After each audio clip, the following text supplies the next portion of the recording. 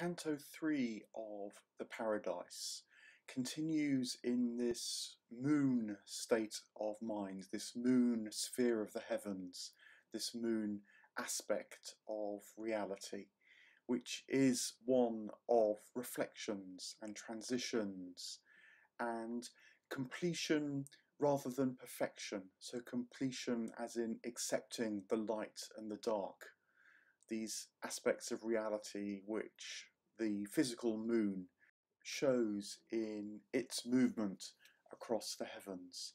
So, in this canto, Dante is going to see reflections and get them confused with reality. He's going to look at how things become visible and then invisible once again, um, like they do appear in the silvery light of the moon. Um, he's going to see truth as he accepts arguments, and so understand arguments as reflections of the deeper truth which he can know directly. He's going to see how the physical gives way to what you might call the mental or the soulful, and the soulful will show itself as the, the true reality. He's going to see how life's will waxes and wanes, how people's lives wax and wane and how that can be brought together in the perfection of heaven. And he's going to get distracted by wonders. Um, he's going to have his mind move not by wanting to step away from reality, but as it's drawn more and more into reality, this transitional state of mind that is in the moon as well. So, in, in several different ways, he's going to have an experience of the moon state, um, as you might expect, since he's in the sphere of the moon. The canto begins with another um, hint as to how to understand these different spheres, these different planetary spheres, because it begins with him calling Beatrice the sun. Um, he says that she was the sun of his young life. And that's a real clue because what he's saying is that he understands the physical sun now by its what you might call phenomenological sympathy with the warmth of Beatrice's love that struck him um, like the rays of the sun in his early life. And it gives us a hint as to how, in this mortal life, we can look at the planetary spheres, at the sun, at the stars, and imaginatively step into the spiritual reality that they're reflecting. And we know that because we use um, the sun and the moon metaphorically. Um, you know, you might say that her smile uh, lit up my life like the bright sun. Um, that's a metaphor for her smile, but it's also actually a step into a truer reality, um, which is when your life is lit up by love, by light. Um, and so you can see that when you feel the sun's warmth as well. Think this is what Blake was onto when he said that he doesn't just see the Guinea sun rising in the morning like a golden disk, like a coin in the sky, but he sees the heavenly hosts crying, Holy, Holy, Holy. He'd learnt to experience the sun's rise as a step towards the fullness of heavenly reality rather than just as a rather beautiful physical experience, though it certainly is that. And it's precisely because it is that that it can suggest and remind us with our mind's eye, with our spiritual sight, of so much more. He experiences her as a spiritual sun in that moment because he says he understood what he calls her proofs and arguments, which we discussed in the previous canto. And the point here, I think, is that he's saying that he realized that reason, um, that being shown something by demonstration, as Beatrice had done, um, isn't the end point, but is actually the pointer, is the sign to the direct appreciation, the direct awareness or knowledge of which the proof or argument is just an indicator. And so he's now able to look, as it were, from her arguments into her eyes, which um, at this point in the paradise very much reflect the direct light, the direct experience of the divine. And so this is something about how reason is in proper relation to knowledge now for Dante. Reason isn't the end point, as can often seem to be the case um, in the modern world, but actually it's just a nudge or a, um, a pointer towards full um, knowledge. Um, so reason isn't an end in itself, it's a means to another end. And um, with his recognition of this, as he turns towards her eyes, as he um, experiences more of a glimpse of direct awareness, he's immediately distracted or drawn, I think is better, um, towards something more immediate um, that is beginning to show itself. Um, this is very much the path of the descent through paradise being worked out in these little details by Dante the poet. Um, when you've understood something, when you've seen something, something more will show itself if you have the eyes to see that as well.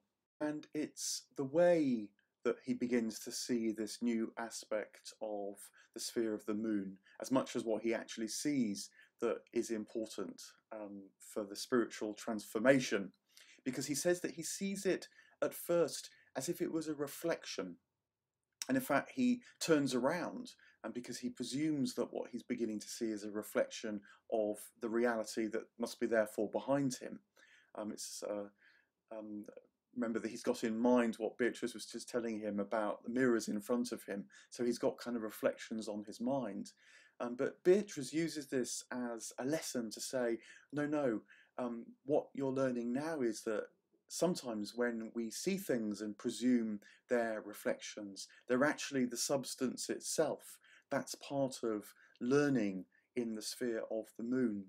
And so he says that what was barely distinguishable, what was subtle, um, what he might have dismissed as a mere reflection, he now realizes is something um, not just more important to see in the sphere of the moon, but perhaps is even more the essence of the sphere of the moon itself.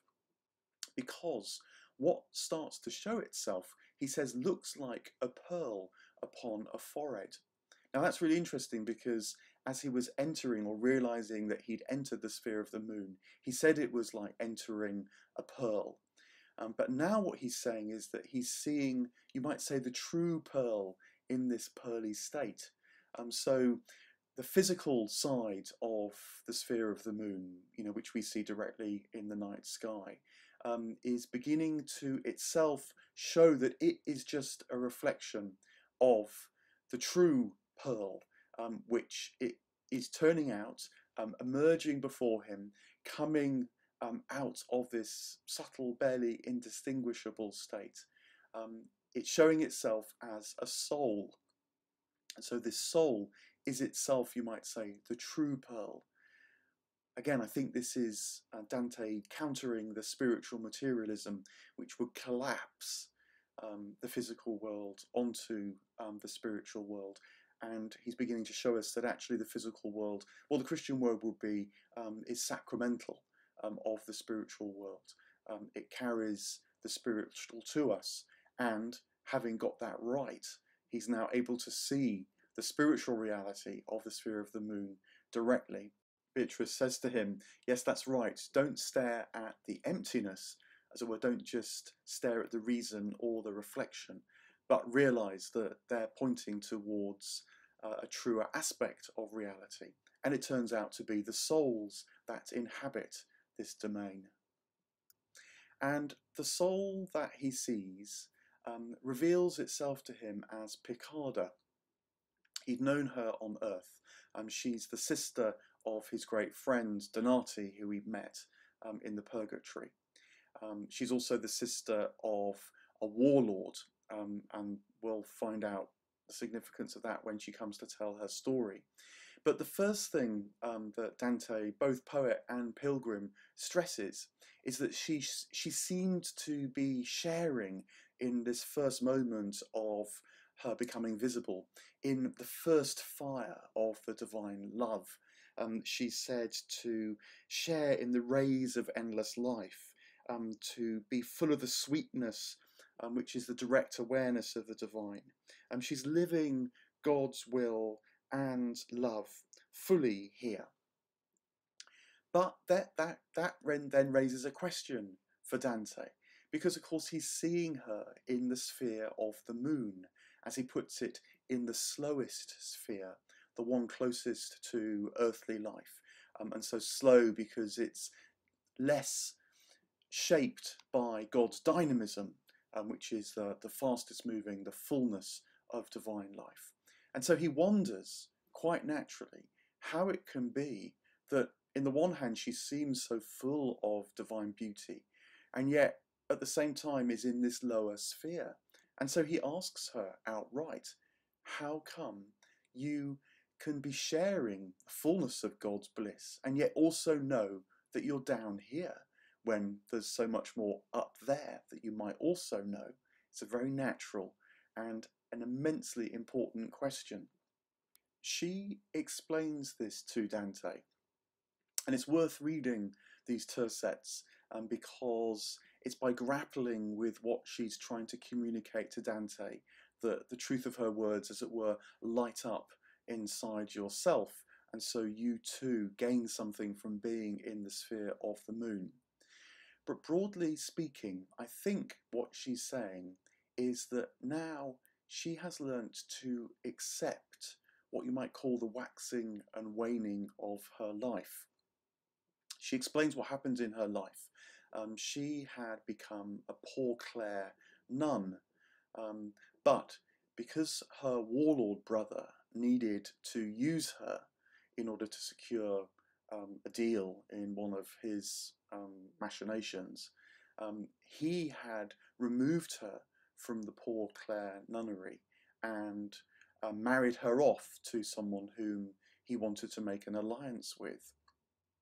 So she had broken her vows against her own will, um, but nonetheless, she says it's because my vows were broken in life that I'm here now in the sphere of the moon. Now, this seems like a massive injustice, um, completely unfair. She was forced against her will to break her vow. And I think that we're supposed to feel the fullness of that seeming injustice, that seeming unfairness. You know, how could God have put her into the sphere of the moon? And moreover, how can she say that she is happy to be here, um, that she's feeling the fullness of the divine bliss? Um, surely something doesn't add up about that. Um, we're supposed to feel that edginess because that is precisely the edginess which can become uh, a moment of sort of awakening, a, a, moment of appreciating more deeply quite what Piccarda is saying. And what she says is that the reason why she's both here in the sphere of the moon, but is experiencing the fullness of divine delight as well, divine life as well, is because she has freely and consciously accepted what happened in her life. She's, you might say, accepting her suffering. And in that suffering, she's accepting the fullness of her human life. And because she's accepting the fullness of her human life, therefore, with its light, but also with its, its true darkness, she is able to be open to the source of her mortal life, which is, of course, the immortal life of God. She's now fully in God because she can say yes to the details of her life. And in that very act of saying yes, she transcends the details of her life to accept um, and be capable of the fullness of the divine life, which always was already the source and wellspring of her life. Now, it's really important that she consciously and freely accepts this. You know, only she can do this. Um, this is not something that can be forced upon her. Um, those who feel this is forced upon them actually um, can't fully appreciate the divine life, strangely enough. If it felt like she was fated to be pulled out of the nunnery, I think she would have been found in purgatory um, having to work through something in order to become more capable of heavenly life. You know, you see this um, every so often in therapy um, when someone comes having had real suffering in their life. um, but through a process of accepting the rage that that brings, the lament that that brings, the sadness that brings, um, the sense of grief, uh, mourning what seemed not to be possible in life because of it. People are able to move to a place where, as it were, they they rise above what happens to them. They kind of see it in the round. Um, they see it for its completion, not for its perfection. And that actually enables them to become, well, in the first instance, reconciled to what happened.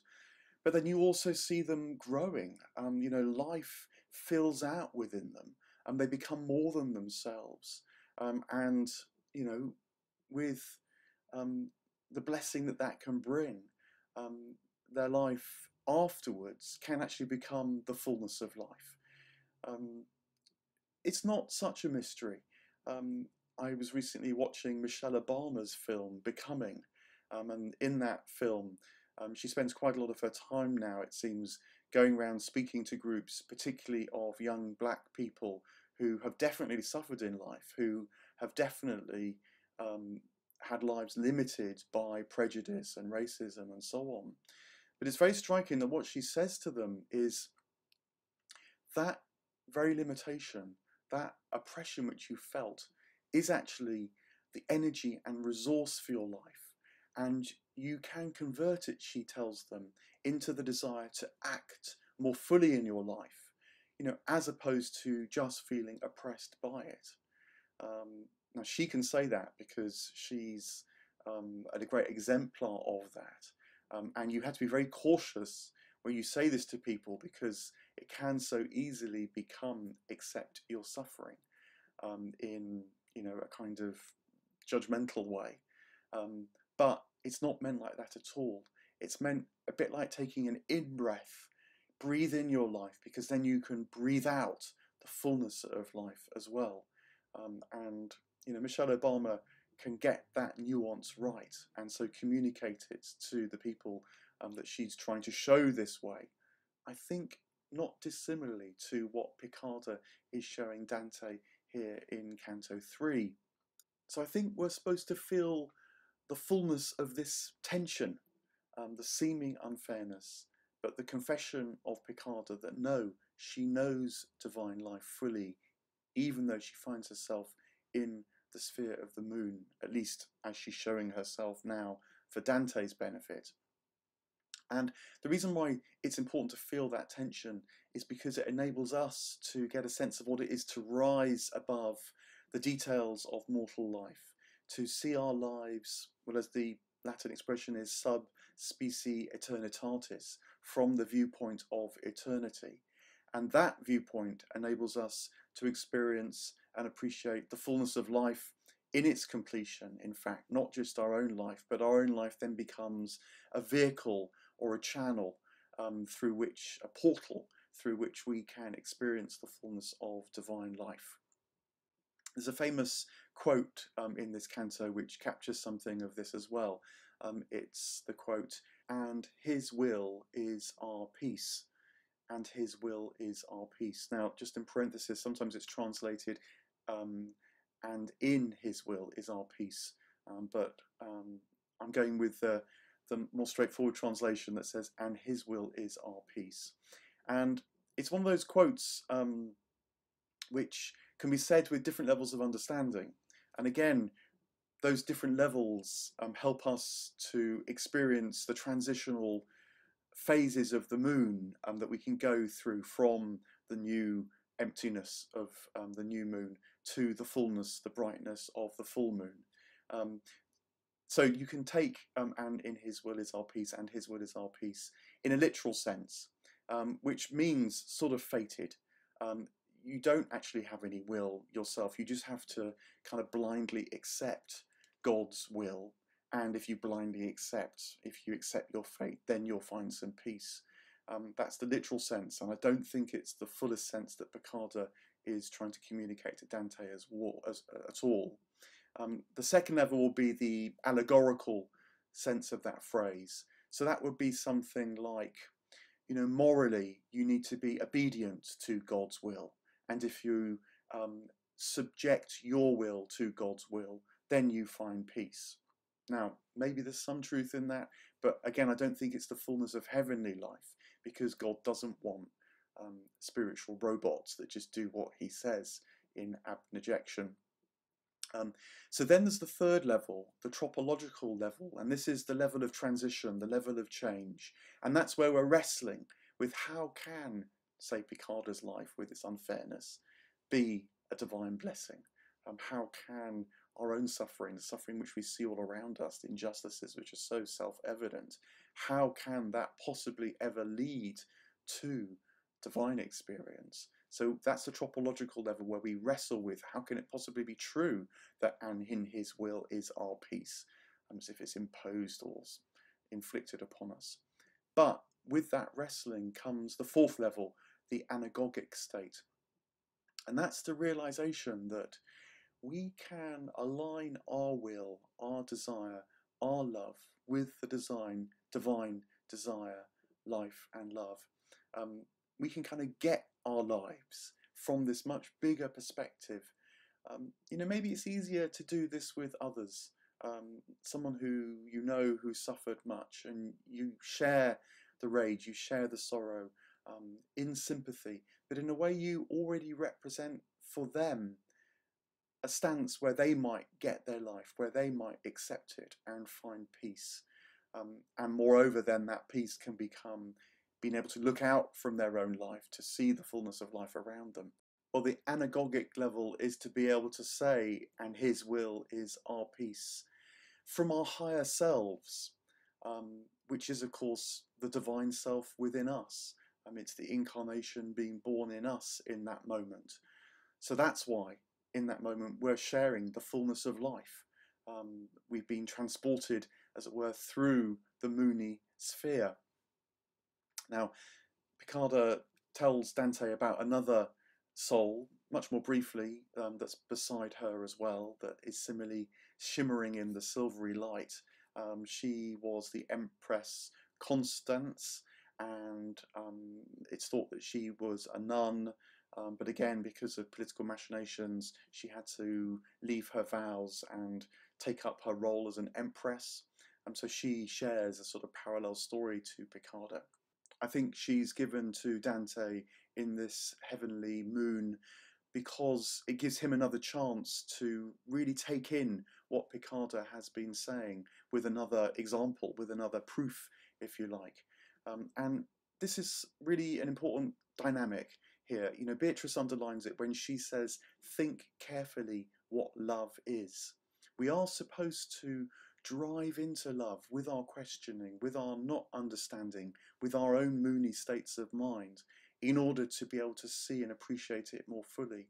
Um, that dynamic is hinted at several times throughout the canto. So, for example, when Piccarda first appears, Dante doesn't actually recognize her. She is too beautiful, and um, he doesn't see her earthly features. But when she speaks, he sees that it's her and it's her words, as it were, that illuminate the vision.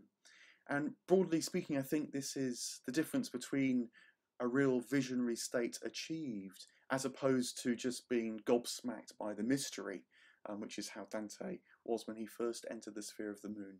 And you might say that vision, as opposed to mystery, is wonder, but added to that is clearer sight and deeper understanding. So when to our wonder we bring in sight and understanding, we get a fuller vision and so able to rise and not just, as it were, get hit by one mystery after another. It's very striking that towards the end of the canto, Piccarda disappears. Um, Dante says she disappears like someone disappearing into the depths of water. Again, we've got reflections, water, um, keeping us in this moony state. Um, I think she disappears because, in a way, she's returning to the fullness of divine life in the Empyrean. She's come down into this particular sphere of reality, this particular dimension of existence, to exemplify that for Dante's benefit. So Dante can learn. This is the generosity of spirits in paradise. They will give much as the divine life just gives in order to draw all back to itself in the freest and most conscious state that's possible. And now that she's imparted her wisdom, she disappears, I think, because she returns to the fullness of divine life, to the first fire of love, because that's what her life, with its light and its darkness, has meant she's now capable of. And Dante, in the last lines of the canto, turns back to Beatrice as he might. And actually, he's dazzled by her in this moment. He can't look at her. Um, he is in a state of transition himself. Um, and so the dazzle returns, um, this cycle of understanding, being able to see, but then that in itself uh, leading you to be first dazzled by more, more tropological states of mind that open up more of reality. And in fact, in the next canto, Dante is going to have more questions about this heavenly moon as he seeks to understand it further and further.